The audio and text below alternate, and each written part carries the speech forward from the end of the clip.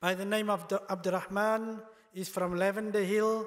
He is a very good um, poet, Alhamdulillah, preparing poetry, and he has prepared a poem in honor of the people of Palestine.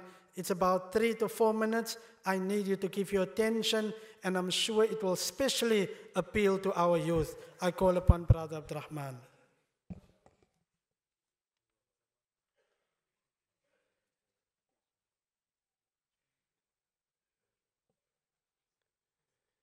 بسم الله الرحمن الرحيم الحمد لله رب العالمين والصلاة والسلام على أشرف المرسلين سيدنا ونبينا ومولانا محمد وعلى آله وصحبه أجمعين Respected brothers, sisters, ulama karam, I greet you all with the universal greeting of peace, love and mercy. Assalamu alaikum wa rahmatullahi wa barakatuh.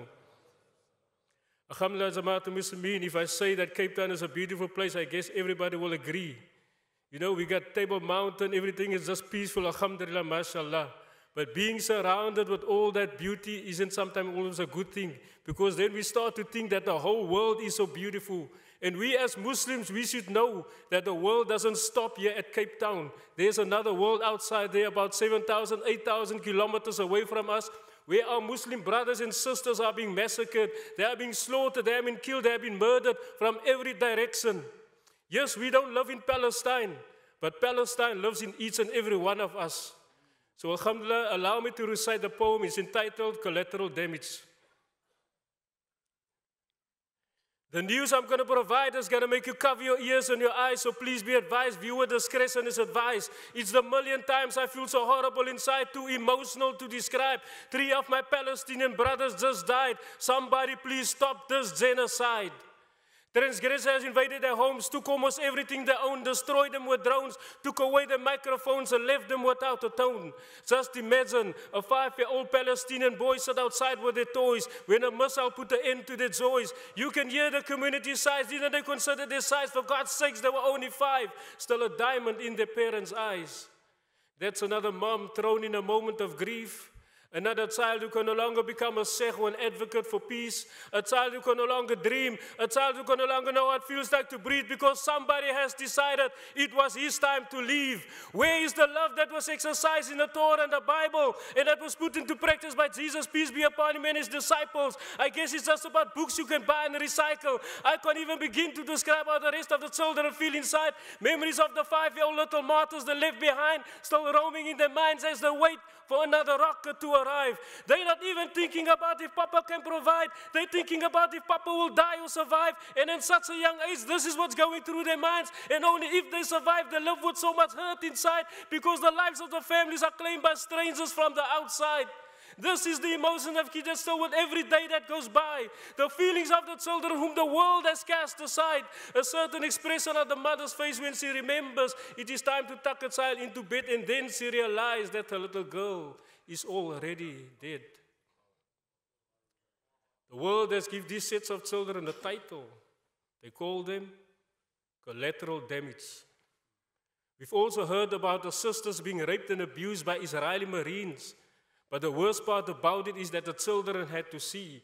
But do the Muslim world hear a woman as they scream? Everybody's too busy chasing their dreams, ignoring the brotherhood that is enjoyed by our deen. But the children who are hurt and oppressed refuse to shed another tear as they stand up for their nation with a single drop of fear. With courage and pride, they're protected by the stones, even if the Muslim world has left them standing all alone in the middle of a combat zone. It's their homeland. It's our holy land. Threat is real. It's Israel. I know that's hard to digest, but wait till you hear what next. The other day I got a text that will leave a person with brain defects, news that comes with side effects. Let me get this off my chest.